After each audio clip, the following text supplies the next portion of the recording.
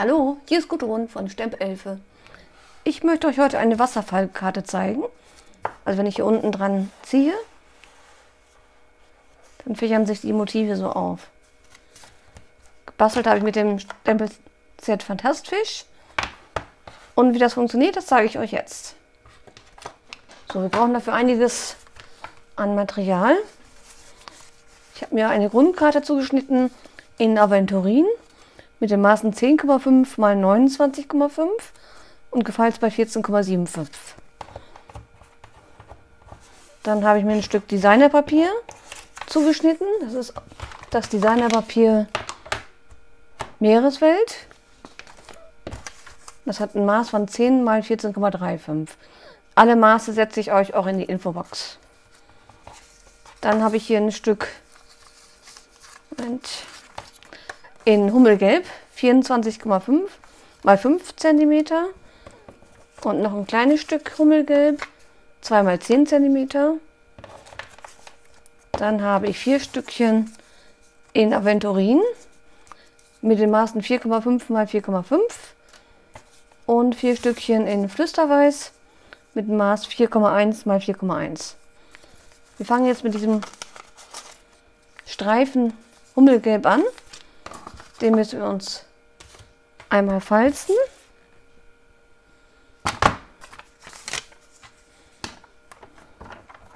Und zwar lege ich den an der langen Seite an und falze einmal bei 5 cm.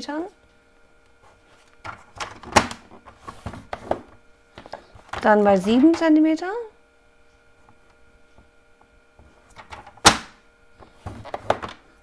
Und bei 9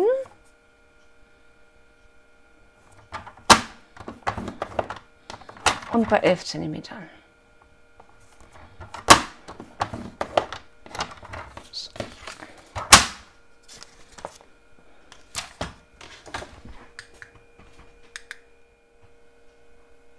So, ich falze mir jetzt einmal alle Falzlinien einmal nach.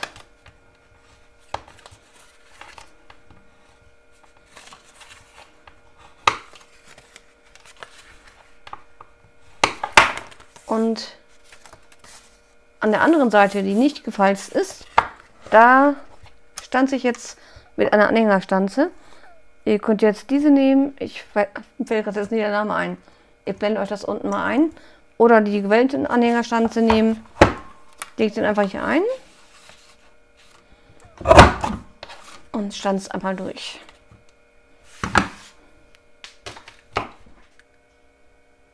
So, dann stempeln wir uns einmal die vier weißen Quadrate in Flüsterweiß und mit dem Stempelset Fantastfisch. Und da habe ich mir vier Motive ausgesucht. Einmal diese Qualle, dann die Schildkröte, das Seepferdchen und die Koralle. Genau. So, fangen wir mal mit der Schildkröte an. Die stempel ich mir in Aventurin. Und da gucke ich einfach, dass es noch drauf passt auf den Farbkarton.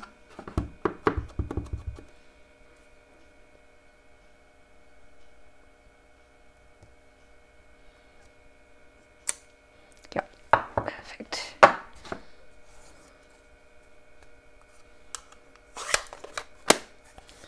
So, das Seesternchen stempel ich in Hummelgelb.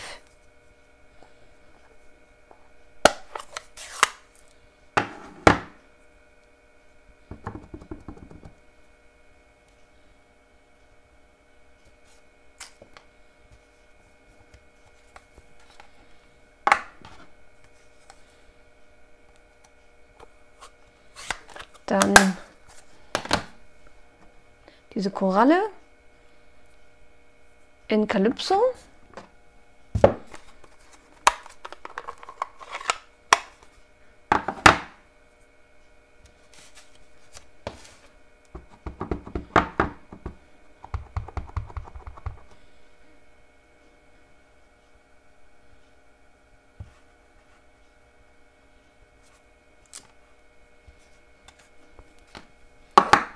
Und zum Schluss noch die Qualle.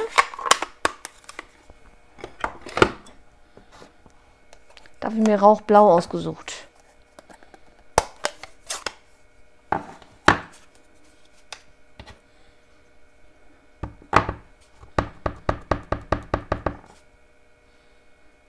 Da lege ich mir mal eben was drunter.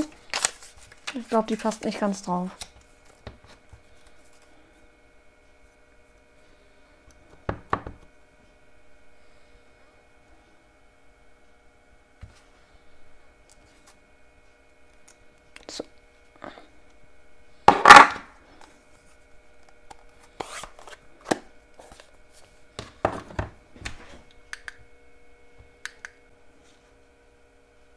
So, dann kleben wir die Motive schon auf den Farbkarton in der Aventurin auf. Und das mache ich mit Tombow.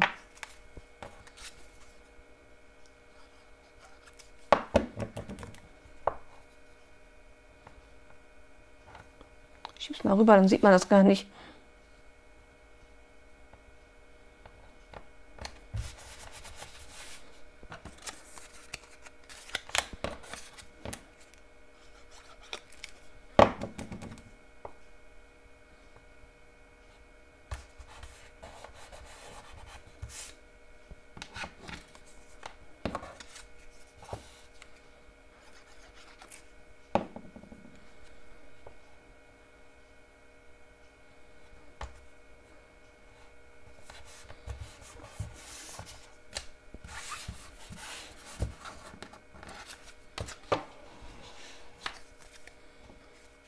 So, der letzte.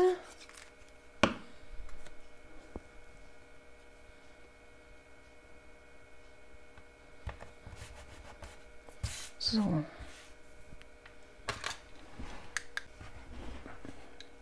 So, dann brauchen wir unseren Abschnitt in Hummelgelb. Und hier unten können wir jetzt schon das erste Motiv aufkleben. Ich belege mal mal, in welcher Reihenfolge ich die haben möchte.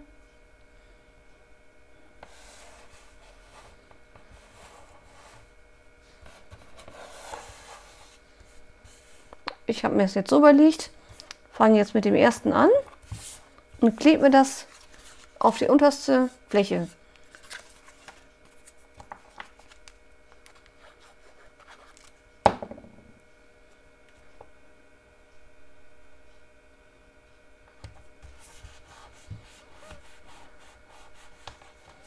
So. Jetzt kommt der Tombo schon mal weg. Jetzt brauche ich Abreizklebeband. Und jetzt mache ich die letzten drei Quadrate, mache ich mir immer nur ein bisschen Abreißklebeband drauf. Und zwar, ich nehme dafür meine Silikonmatte, drehe mir die Motive einmal um.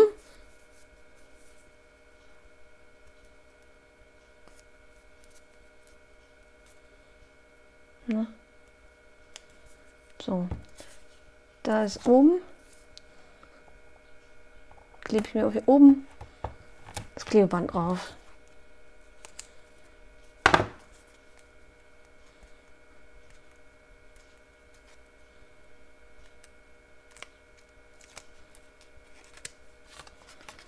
Und klebe das nur ganz oben auf die oberste, kurz hinter der Falzlinie klebe ich mir das auf.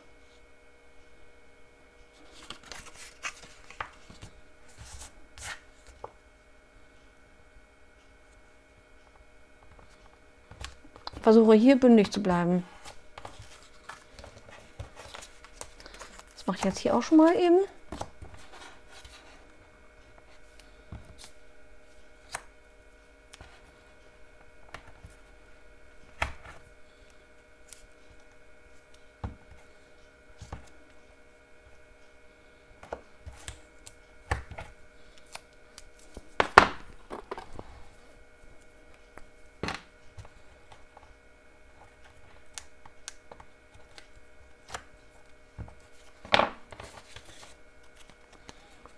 Das wieder kurz vor der Falz an.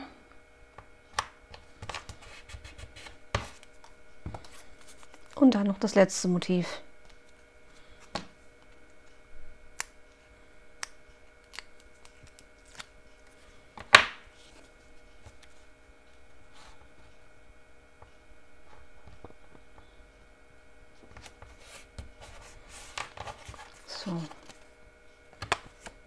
Sieht das schon mal aus.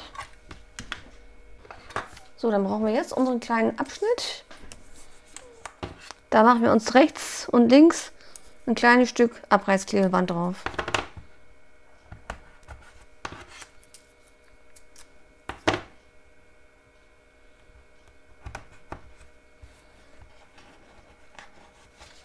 Und auch hinten auf dem Stück Papier ganz unten hin. Also hier ist das letzte Motiv. Auf der Rückseite ganz unten.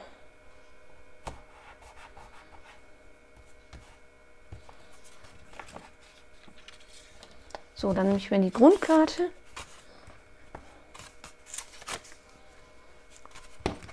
Kleben wir da schon mal das Designerpapier auf.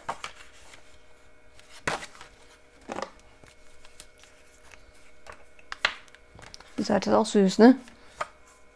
Ich nehme jetzt die.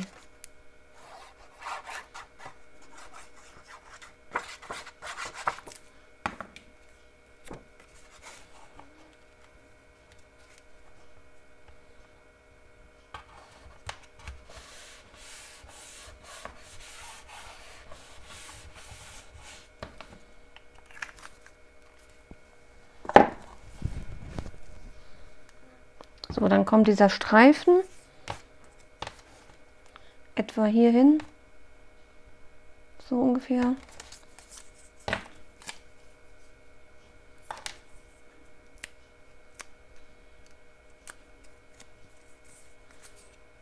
Und wenn ein bisschen Klebeband übersteht, dann einfach nach innen weg einstülpen. So.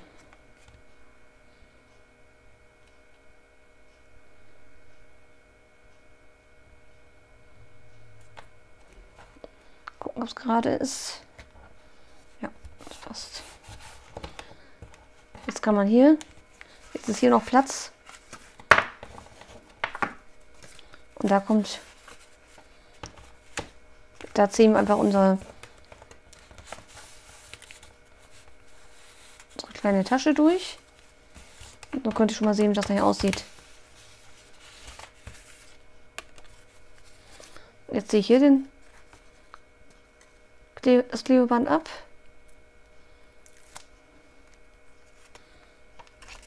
Und klebe das hier mittig drauf.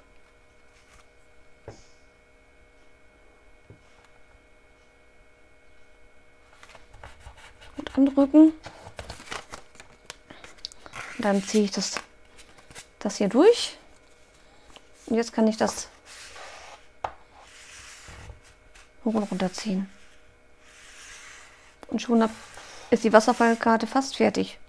Es fehlt noch der Spruch.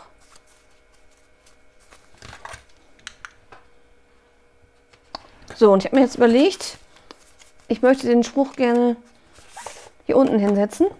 Wenn man das also rauszieht, dass man dann den Spruch sieht. Und das kann ich aber machen, wenn ich das wieder rausziehe. Da muss es hier, hier drauf sein, der, der Spruch. Und ich möchte jetzt den Spruch nehmen mit Liebe und mehr. Den möchte ich in Aventurin stempeln. Nimm die Stempelmatte. Ich hoffe, das klappt jetzt auch.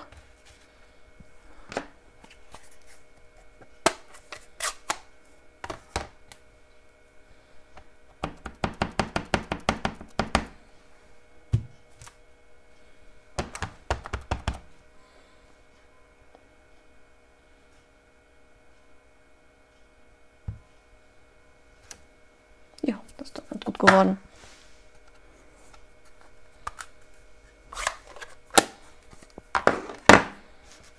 So. Jetzt ziehe ich das hier wieder rein.